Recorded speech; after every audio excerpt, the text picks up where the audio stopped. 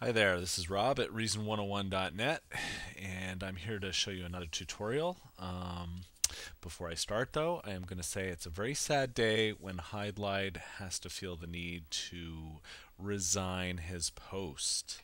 And I just want to say I hope that we see you back soon because I know a lot of people, including myself, want to see some more of those fabulous tutorials that you put together. And believe me, they don't go unnoticed and they are very much appreciated. So take a nice break, my friend, but please come back soon. Okay, now to the tutorial.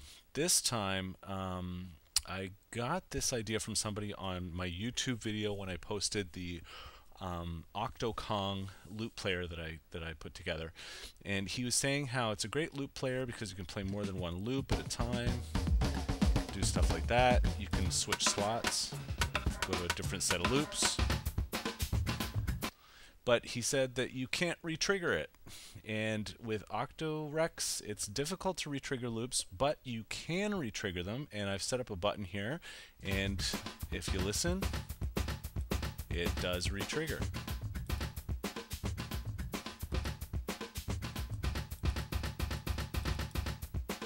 So yes, you can retrigger your loops, and I'm going to show you how to do this. It's actually very easy, and it doesn't even include any extra devices. So let me just fold this up. Let me put this on mute, and I'm going to go into the other combinator, which is where we kind of left off, which we've got our loops, our 10 loops on the 10 pads, 10 first pads. Then we've got the loop slot sequencer, which I've already gone through and shown you, so I'm not going to show you this again. Um, I just want to go in, I'm going to take this Kong copy over here that I'm going to be using to trigger all my loops, which I need to press the run pattern devices to trigger them.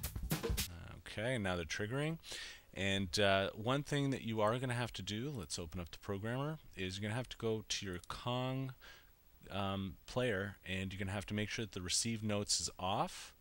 Uh, you're also going to have to go to the um, loop slot CV, which is the Thor sequencer, and make sure that that's off and not receiving notes. All the other Dr. Rexes, you want to make sure that they're receiving notes. Um, it's very important that this little checkbox is checked. And also, uh, the way I always work this, I create a Kong device in my sequencer over here, and I play directly on my keyboard to play the Kong device, not the combinator. I find this gives you a little bit more flexibility. So, what we're going to do, we're going to go down here. We're going to take a look. We've got the um, Thor, which is basically used as a CV source.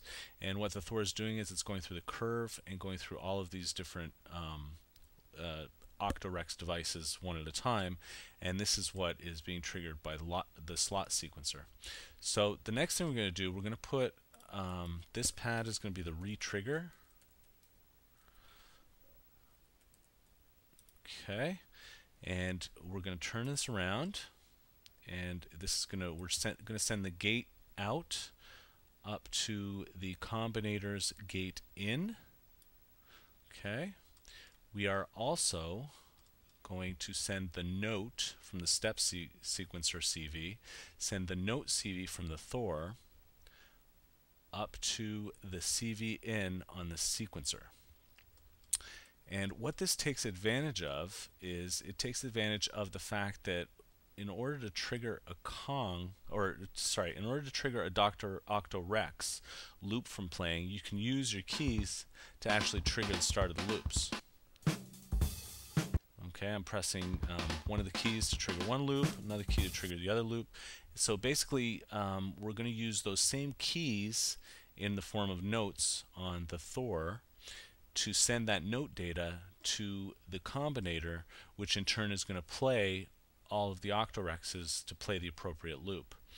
Um, because the sequencer is already set up to go through each of the Dr. Octorex devices from 1 to 8, you're going to use the same pattern going from the notes um, to trigger slot 1, slot 2, slot 3, all the way from 1 to 8. Now, the only thing you have to do is make sure that this is on full, okay, that your octaves are on full. And now you're going to take the first note and you're going to send that down to E0. Okay, E0 on that first one. Second one, we're going to take that down a little bit further, and this is going to be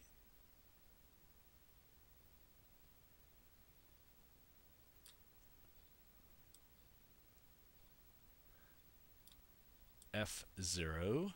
Come on. Sorry, this is a little finicky. Okay, third one is going to be F sharp 0.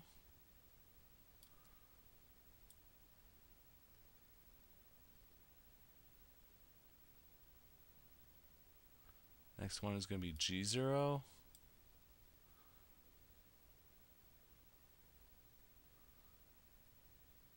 G sharp 0. A0, A sharp 0, and then the last one is going to be B0. Okay, so now it's going through all of your, um, it's going to send the key, the key note back up to play the combinator. So now, when you play through, and you retrigger,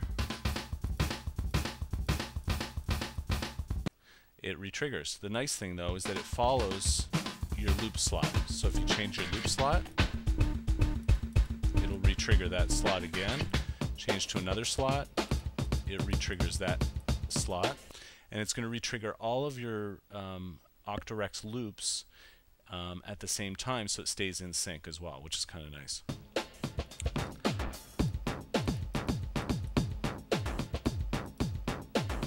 So that's your that's your retrigger pad, and that's how you create it inside um, my Dr. OctoKong.